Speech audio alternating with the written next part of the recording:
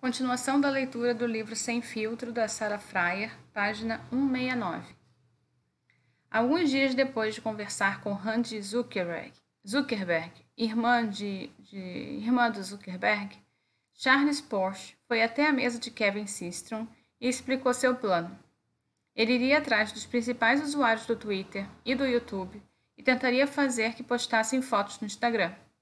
Enquanto isso, garantiria que as estrelas domésticas do Instagram, aquelas que surgiam da lista de usuários sugeridos ou naturalmente, recebessem mais apoio direto da empresa. Porsche já tinha uma lista com nomes que esperava que tivessem contas no Instagram, como a Oprah Winfrey, a Miley Cyrus.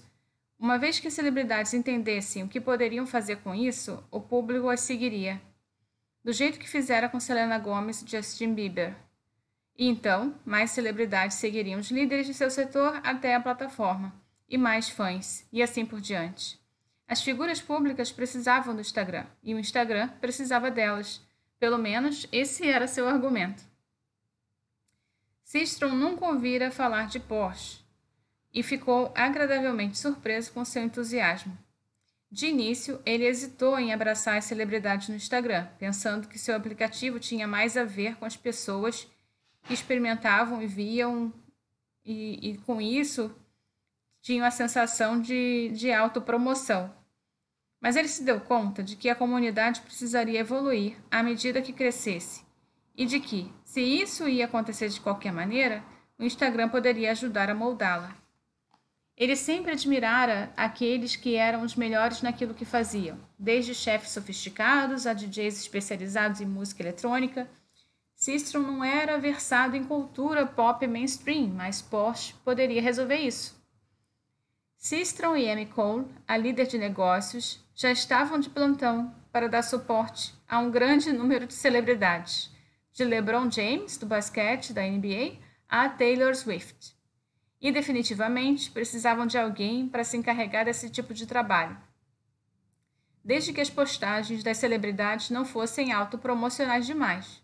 Poderiam oferecer aos usuários do Instagram uma lente para mundos antes inacessíveis da mesma forma que o Instagram havia atraído usuários aos bastidores, dos, aos bastidores com pastores de renas e café e cafés, as celebridades administravam comunidades exatamente como o Instagram e poderiam ajudar a levar seus fãs ao aplicativo. Porsche achava que, que a comunidade de moda seria a chave para atingir a interseção entre a cultura visual do Instagram e a cultura mainstream. Os modelos e blogueiros de moda já estavam no aplicativo, de maneira que o Instagram precisaria convencer as Annas Winters da vida a levá-los a sério. Quando a moda estivesse a bordo, os grandes nomes de Hollywood também estariam, e então os músicos os seguiriam. E o mesmo aconteceria com astros e estrelas do esporte. Todos os setores voltados para o público estavam conectados, explicou. O primeiro teste de Porsche foi na New York Fashion Week em fevereiro de 2013. Na noite anterior ao início do evento, ele preparou uma presença básica do Instagram na tenda do evento, no Lincoln Center, conectando duas telas e marcando o território com uma plaquinha de madeira com o logotipo do aplicativo entalhado. E se as pessoas tirassem fotos ali, seriam exibidas naquela tela.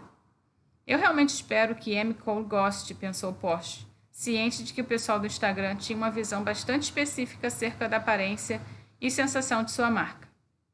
No dia seguinte, quando chegou à tenda, ele viu uma multidão aglomerada em torno das telas do Instagram, todos animados por ver suas fotos aparecendo ao vivo. Estandes de fotos em eventos eram coisas novas, era uma coisa nova na época. Modelos, designers e blogueiros pareciam igualmente dispostos a participar da experiência da marca Instagram.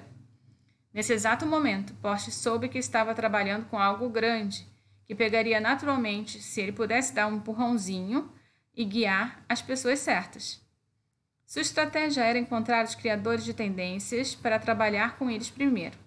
Ele sabia que, depois disso, o sucesso do Instagram criaria pressão nos outros.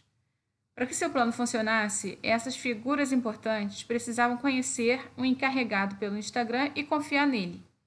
Precisavam sentir que estavam apoiando alguém de quem gostavam que poderiam responder essas, as suas perguntas, e pois assim seria menos chato. Foi, a, foi uma sorte para Porsche que Sistron, ao contrário de Mark Zuckerberg, estivesse disposto a, tor a tornar a socialização uma prioridade. Sistron e Porsche fizeram sua primeira viagem a Los Angeles em 2013, com um novo recurso para conquistar celebridades, a verificação. Descaradamente, o Instagram havia copiado um recurso do Twitter oferecia, colocando selos azuis ao lado das contas para certificar de que, as pessoas era, era, que a pessoa era realmente quem dizia ser. O selo de verificação começou como uma medida de proteção contra imitações, mas logo se transformou em um símbolo de status. Se alguém era verificado no Twitter, devia ser importante o suficiente para que quisessem se passar por ele. Na época, se a pessoa tivesse a intenção de ser verificada no Instagram, a única maneira seria conhecendo alguém lá dentro, assim como no Facebook e no Twitter. O Instagram não tinha um sistema de atendimento ao cliente, nem números de telefone para os quais os usuários ligassem, fornecendo com isso incentivo para conhecer humanos reais que trabalhassem lá. Isso tornava o selo de verificação especial, dando a impressão de que era igual ao endosso do Instagram às postagens das pessoas, mesmo não sendo esse o objetivo do Instagram.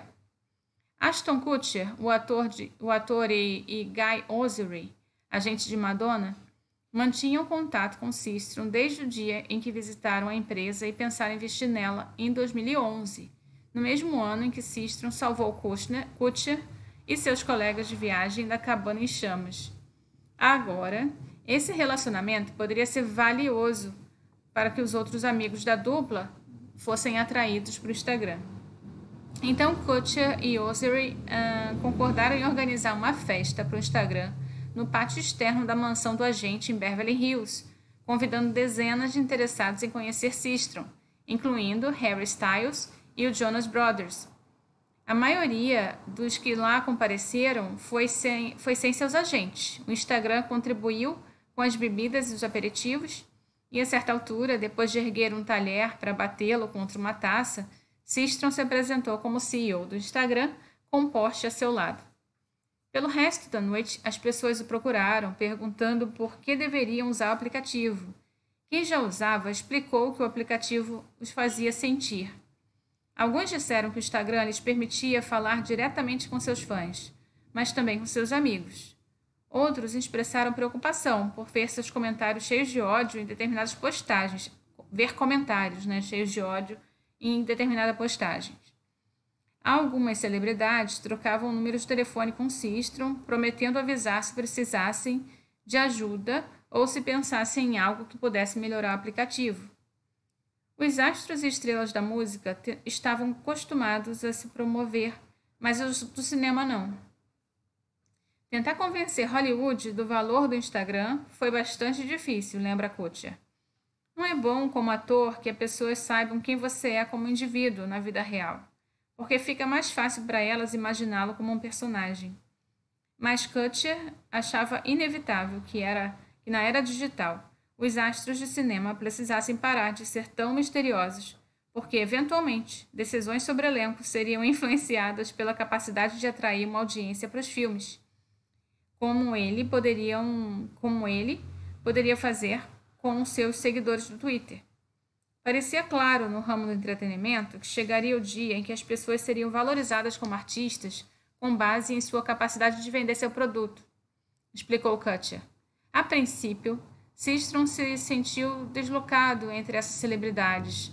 A sensação uh, o fez lembrar sua época do internato em Middlesex, onde seus colegas tinham iates, casas de veraneio e famílias que pareciam no noticiário. Mas conforme ele fazia mais perguntas e ele ouvia suas histórias e conhecia suas inseguranças, percebeu que todos os presentes na festa estavam só tentando ser melhores do que faziam, no que faziam e eles poderiam se ajudar mutuamente.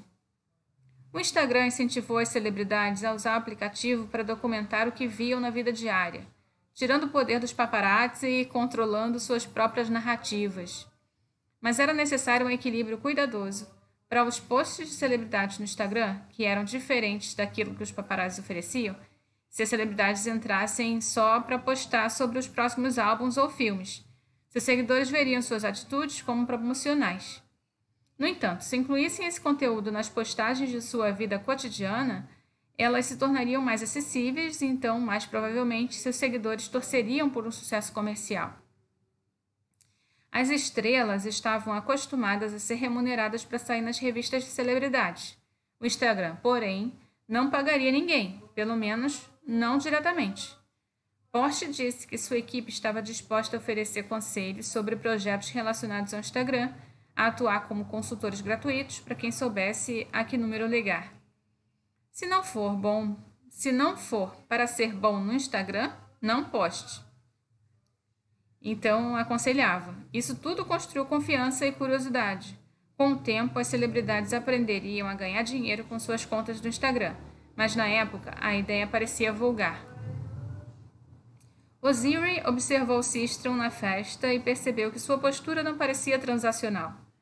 Comparado a todos do, a outros do ramo de tecnologia, ele era descontraído, tentava ser amigo mais que, mais que vendedor, esforçando-se para genuinamente entender o efeito do produto em usuários famosos. Era difícil imaginar Mark Zuckerberg se misturando em uma festa como essa, com seus seguranças de nível secreto e sua comitiva de relações públicas ao lado.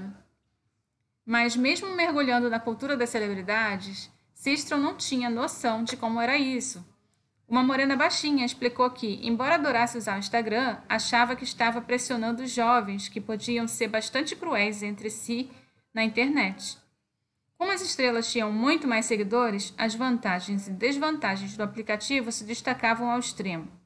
Ele podia imaginar seus fãs sofrendo bullying nos comentários em suas fotos, algo ao qual o Instagram não tinha solução. E o que você faz? perguntou Sistron com seu, com seu corpo de quase 1,90m pairando sobre o dela. Ela pegou seu celular para mostrar seu perfil no Instagram. Era uma estrela pop como, com cerca de 8 milhões de seguidores. O seu nome era Ariana Grande. Algumas celebridades não confiavam na palavra do Instagram acerca do valor do aplicativo e optaram por realizar sua própria pesquisa pedindo conselhos aos colegas que já faziam uso dele. Kris Jenner, matriarca, matriarca e diretora de negócios de reality shows da família Kardashian Jenner, recebeu muitos telefonemas de seus amigos da alta sociedade entre 2013 e 2014, perguntando-lhe por que suas filhas se preocupavam tanto com o Instagram. Muitas pessoas acham que, sem certo nível de privacidade e mistério, não seriam tão interessantes, explicou Jenner. Muita gente no ramo do entretenimento só queria falar de suas coisas em uma entrevista adequada ou em um programa de televisão. Como a família Kardashian Jenner já havia compartilhado grande parte da sua vida na TV, eles não tinham inibições sobre compartilhar na internet. Alguns anos após a estreia do reality show em 2007, o produtor Ryan Seacrest ligou para Jenner a, a, fim de sugerir que sua filha mais famosa, a Kim Kardashian, Kardashian começasse a conversar com os fãs no Twitter. Ela aprendeu como funcionava e o que não passou a ah, e o que não, e o que não dizer, né? E o que não funcionava e passou a ensinar o resto da família a fazer o mesmo. Em 2012, Kim Kardashian entrou no Instagram querendo repetir seu sucesso do Twitter em um novo mercado. Seu público ficou animado por ter a oportunidade de acompanhá-la em outro lugar além do programa enquanto via mais de seu icono, icônico e controverso corpo em forma de ampulheta. Conforme os membros da família foram acumulando milhões de seguidores, o Instagram se tornou sua principal ferramenta de marca, eclipsando o Twitter em importância devido ao imediatismo e à intimidade que as imagens forneciam. Quando Porsche e Sistron estiveram em Hollywood prometendo controle da marca de, de marca aos astros que usassem o Instagram, não mencionaram explicitamente o potencial de obter renda extra publicando sobre marcas e produtos, mas Kim Kardashian sabia o que era possível. Ela havia aprendido com sua amiga socialite Paris Hilton, no início dos anos 2000, a usar a fotografia para construir uma marca. Hilton, por sua vez, aprendera com seu agente da época, Jason Moore, que desenvolveram um sistema complicado de manipulação da mídia em um mundo pré-Instagram. Moore foi o progenitor da moderna ideia de alguém poderia ser famoso por ser famoso e descaradamente criar um negócio em torno disso. No reality show The Simple Life, Hilton desempenhava o papel de uma loura rica, personalidade que ela diria anos depois ter sido, pelo menos parcialmente, uma invenção dos produtores do programa. Uhum. De, de qualquer forma, a moça estava disposta a seguir um plano para transformar o mundo inteiro. Não só o cenário do The Simple Life em um palco. Uma fita de sexo vazada em, um, lançou aos tabloides e lá ela ficou. Moore informava aos paparazzi sobre seu paradeiro, construindo relacionamentos com fotógrafos de confiança e alimentando um ciclo de notícias a respeito das celebridades sempre ativo, subitamente possíveis devido ao surgimento dos blogs na internet. Novos sites de mídia como Paris Hilton e o TMZ prosperaram graças ao drama de Hilton. Quando Moore viu Hilton, percebeu sua chance de transformar uma pessoa em uma marca. Um novo tipo de marca, diferente do império midiático de Oprah, ou da carreira de atrizes movida a merchandising das gêmeas Olsen. Na faculdade, ele passara um semestre estudando o sucesso da boneca Barbie da Mattel e comecei a pensar: se a Barbie pudesse andar, como seria? Lembrou Moore. Qual seria sua marca?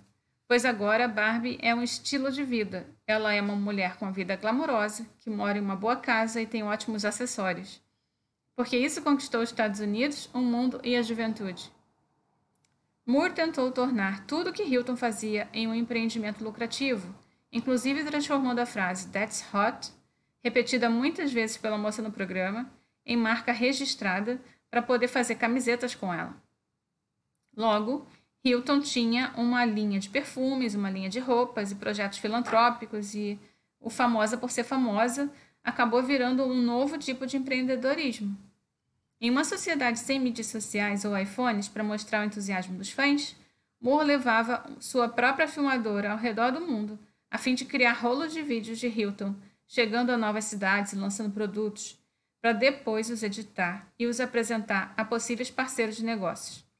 Ao ver, a Hilton com seus fãs entusiastas, as marcas entendiam o valor de vincular o seu nome, o nome, o nome dela aos seus projetos.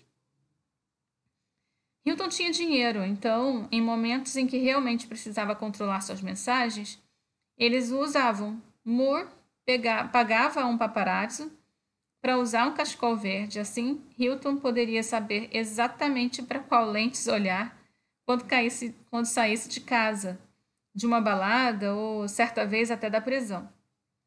Moore intermediava anonimamente um acordo para vender a foto a um site de notícias de celebridades. Então, um veículo nos procurava e pedia um comentário. E ninguém tinha ideia de que nós estávamos por trás disso, explicou Moore. Os paparazzi eram essencialmente a publicação diária do Instagram de Paris, e esse reality show era seu story semanal. Enquanto isso, Kris Jenner percebeu que a maneira mais rápida de alcançar fama era se associar a pessoas mais famosas. Esse conceito depois ajudaria Jenner a criar mini estrelas no Instagram. Os estilistas, personal trainers e maquiadores que trabalhavam para sua família, todos ficavam famosos e adquiriam milhões de seguidores. Assim, em 2006, antes de Keeping, Keeping Up with the Kardashians ir ao ar, ela ligou para Amor e perguntou se Hilton e Kim Kardashian poderiam aparecer juntas com mais frequência, pois sua filha estava tentando construir um negócio no ramo de roupas chamada Dash. Kardashian era uma morena curvilínea demais que apelaria inteiramente a um tipo diferente de consumidor, pensou Moore. E disse a Jenner que tudo bem, as fotos e os vídeos cuidadosamente controlados de Hilton alimentaram os negócios de Kim. Então, quando plataformas digitais como o YouTube e o iTunes, por fim, tiveram a oportunidade de apresentar os vídeos ou músicas de Hilton por nada em troca, Moore os dispensou. Estávamos acostumados a receber centenas de milhares de dólares por foto, explicou. Por que faríamos isso de graça? Mas Jenner e Kardashian, que ainda estavam no começo da fama quando o Twitter foi lançado, não podiam ganhar tanto dinheiro com fotos vazadas. Perceberam que podiam criar um negócio ainda maior nas mídias sociais, construindo sua própria versão de marca de estilo de vida inspirada em Hilton e vendendo anúncios com base em seu público, como Moore fazia manualmente. Em vez de vazar fotos para a mídia, pagar paparazzi ou fazer rolos de vídeos para apresentar as marcas, elas poderiam liberar fotos de si mesmas no Instagram para o público potencialmente muito maior do que o de qualquer revista de cultura pop. Mais adiante, ao vincular produtos à sua fama, elas conseguiam obter feedback sobre o que as pessoas queriam comprar antes mesmo de desenvolver o que quisessem lhes vender. Kim Kardashian perguntava a seus seguidores qual deveria ser a cor dos frascos de perfume e obtinha a resposta por meio de uma votação instantânea. Mas essa dinâmica era praticamente invisível para a maioria das celebridades que ainda não estavam no Instagram. Jenner se lembra que de uma conversa com uma grande celebridade que em alguns uh, dos presentes que estavam também presentes na festa de Osiris e questionavam o valor de ter seguidores. Jane se deu conta. É divertido fazer parte da dinâmica social disso que está acontecendo com o Instagram, mas, ao mesmo tempo, se você tem muitos seguidores e deseja vender algo para os seus fãs, com certeza é uma audiência instantânea de pessoas prontas para participar da festa. As Kardashians aceitavam valores pesados das marcas por incorporar produtos em seus posts. E como Dogg, Snoop Dogg fez em 2011, Muitas vezes eles não mencionavam se ganhava dinheiro com isso. Isso fazia com que as postagens parecessem dicas úteis e não anúncios. E as agências reguladoras dos Estados Unidos demoraram a entender essa prática. Como é muito mais provável que os consumidores sejam levados a comprar algo se seus amigos ou familiares o recomendarem, em oposição a anúncios ou reviews de produtos, esses ambíguos posts fazem pagos eram eficazes.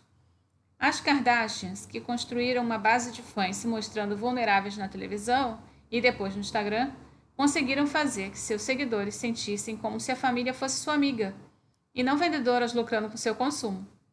O endosso delas no Instagram era tão poderoso que tudo em que punham seu nome se esgotava rapidamente, fosse maquiagem, roupas ou produtos duvidosos de bem-estar, como seus chás para dietas e espartilhos modernos chamados treinadores de cintura.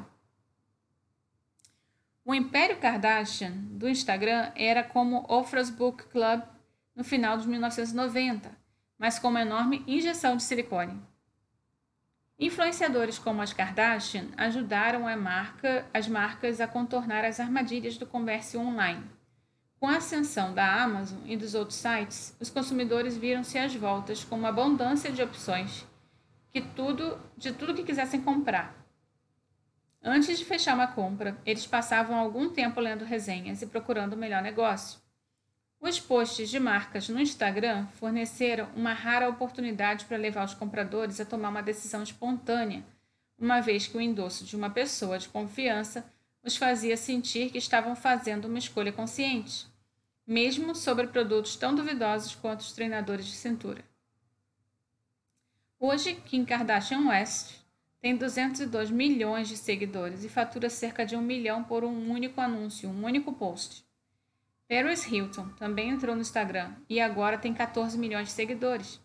Agora, colegas de trabalho de Porsche em Los Angeles responderam a perguntas das celebridades como as, como as Kardashians e outras para que resolvam seus problemas diretamente, enquanto a maioria dos usuários do aplicativo se cuida sozinha. Bem, então eu vou terminando por aqui na página 178.